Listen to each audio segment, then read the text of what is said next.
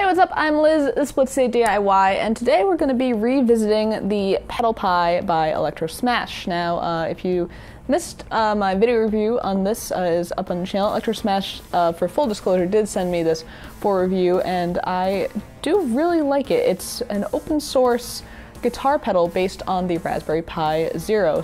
So that means you're basically running Raspbian to run all these different effects that are in C uh, that are digital effects for your guitar, and you can switch between them just with this one pedal. Uh, now, the only thing that I found to be, as I continue to experiment with it, if I wanted to switch effects, like you'd have to type, you know, out the command to switch scripts. So I thought, um, wouldn't it be cool if you could build kind of like a button controller to switch effects that way, kind of like with your foot, like with a normal guitar pedal. So I was able to build just that right here. Uh, and so this is running on a Circuit Playground Express from Adafruit. Uh, and there are eight buttons, one to start the script. Uh, so with this button, you're able to log in uh, and change directory into the folder that has all the effects. Um, I did that so you wouldn't have to type all that out. And I put a bunch of delays in between each line so that it wouldn't start typing before uh, the Raspberry Pi was ready to receive that command. Uh, this kind of escape button to end the script, Control Z, and then these buttons are for my favorite effects that uh, ElectroSmash has written. Now, of course, you can also write your own effects. I haven't gotten that advanced yet, but for now, this will do. Another reason why I decided to go with the Circuit Playground Express is it's a circular board. I can actually open this up. Uh, and on the top are array of 10 NeoPixels. I thought it'd be really cool to have those light up a different color for each effect. Uh, and I also like the circular form factor. And you can see right now it's housed in a pencil box that I drilled out some holes on. And eventually, I'd love to be able to. I know I say this almost for every single project. I'd love to 3D print an enclosure uh, that would be kind of circular with the buttons kind of around it, kind of almost like a nod to the Roto Vibe pedal uh, that Hendrix made famous and things like that. I think that would be really cool to have the, the lights on the top and the buttons all in a circle. And then maybe somehow also 3D prints a uh, housing for this the actual pedal uh, to be able to kind of have it all sit together. But for now, version 1 is in this pencil box. I kind of like how the circuit is suspended in midair. Um, and I actually, I didn't do any soldering to complete this project. I what I did was I used these plastic screws that I've used to mount other projects um, to actually hold wire against the contact points on the circuit playground. And then I just have the wire kind of tensioned and clamped around the terminals of the buttons. So that's the only way we're making contact right now, and it's working really well. Um, because the Circuit Playground uh, series of boards uh, is meant to be used with alligator clips, so I kind of knew like as long as it was clamped in nicely, like it's gonna work, and that's actually how I prototyped was with alligator clips. And another thing, if I do, when I do a final housing of this project, I want to use actual momentary switches that are in the style of like your traditional uh, guitar pedal buttons because it just has that nice stompy noise and has really heavy duty. Whereas these are they're fairly heavy duty, but they are a little bit small comparison. They're actually similar in size, a little bit smaller to the um, selector buttons on the uh, Pedal Pi that selects the effect amount. But um, now that I've kind of given you an overview, uh, let's take a look at how this works uh, in action. Now, first off, as far as this code goes, um, I always look at other projects just to get an idea on how people are setting up the stuff and also the correct syntax. Um, and I want to give a shout out to John Park for his uh, Circuit Playground uh, Classic Password Vault project, where um, I was able to see how to set up strings uh, and to make an array of strings to kind of cycle through. Uh, so I just wanted to mention that, that's where I got that. And I'll link his project down in the description down below. I was also able to get an idea on how to do arrays of colors for NeoPixels on the Adafruit forum. I will link uh, that post down below as well. Okay, so let's talk code. Uh, what's going on to make this thing work? Uh, so in the Arduino IDE, first I'm declaring a couple libraries, most importantly the keyboard library and the NeoPixel library. Uh, then we're defining some variables. Uh, I've got num switches, num colors, and pixel pin. Pixel pin 8 actually corresponds to digital pin 8 on the Circuit Playground Express. uh, that uh, is the pin that the NeoPixels are hooked up to on the board. Uh, num switches and num colors are going to come in handy in a moment when we make our array to be able to cycle through everything. Next up is going to be the NeoPixel information. We're declaring strip as a NeoPixel, and there's 10 of them. We're going to be using pixel pin, uh, pin 8, and then also the, uh, the types of pixels. So next up we've got the array that actually has all of the strings they're going to be sending to change effects in uh, Raspbian. So it's greater than 8 bit, so that's why we've got the little star here next to the char. Uh, and then I called it fx and then num switches, so that's where the 6 is coming in. And then you see we've got six strings here, sudo, point slash distortion, sudo, point slash fuzz, etc, etc. Now then we've got some individual chars, uh, which stands for character, uh, so it's a little weird to say char. Uh, but we've got control key, which is left controls to be able to modify, and then the enter key, key enter. Now next up we're declaring some buttons that are hooked up to digital pins on the circuit playground. So the numbers are corresponding to pins. And then start switch and stop switch, uh, those are separate from the strings, but these are for starting the scripts when we do the whole login and change directory.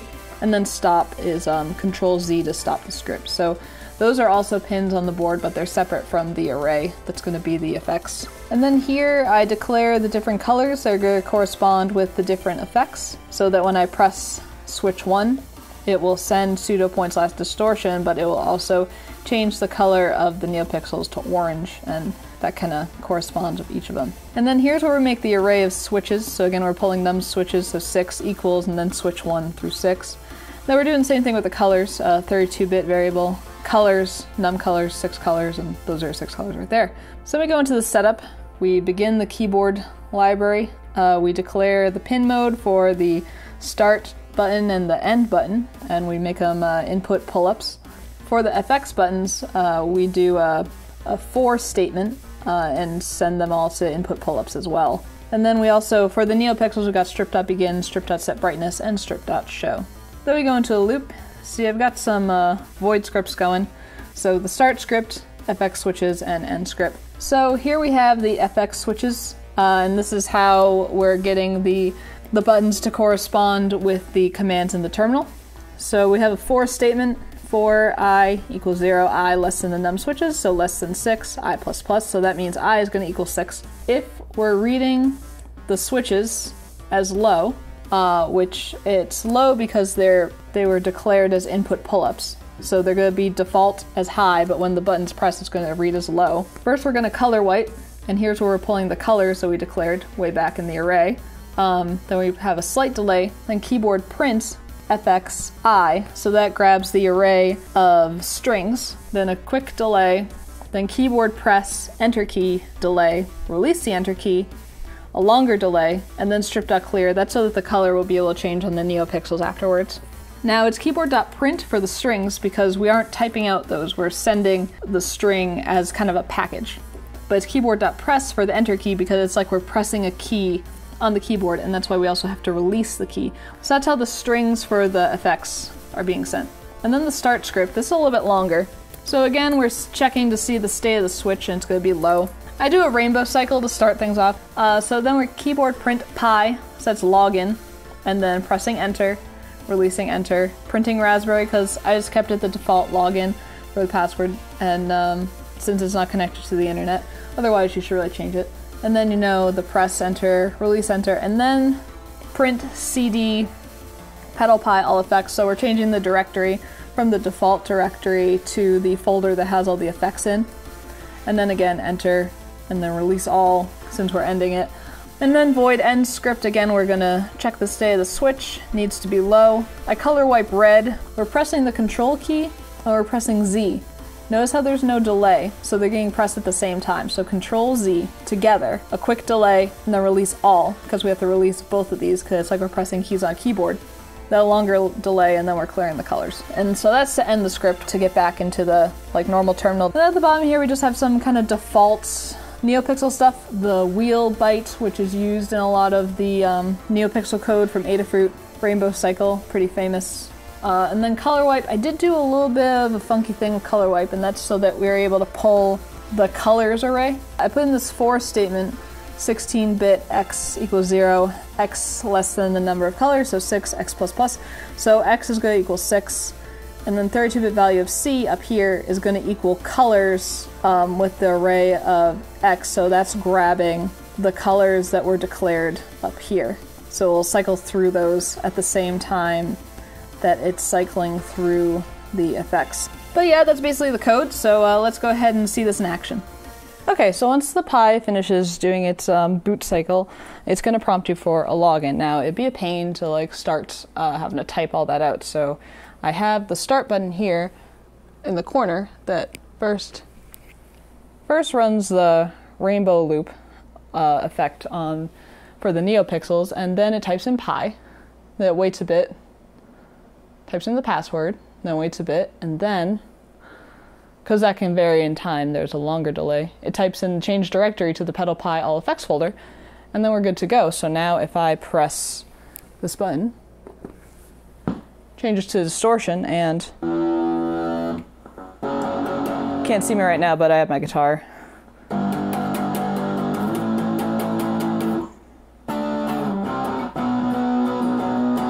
Now I want to end this. I want to go to another one. I'm going to press this button.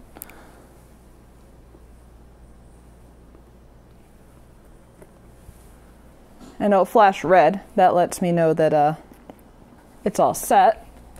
Let's type in Control Z to get out. And if I press this, I'm in the reverb effect.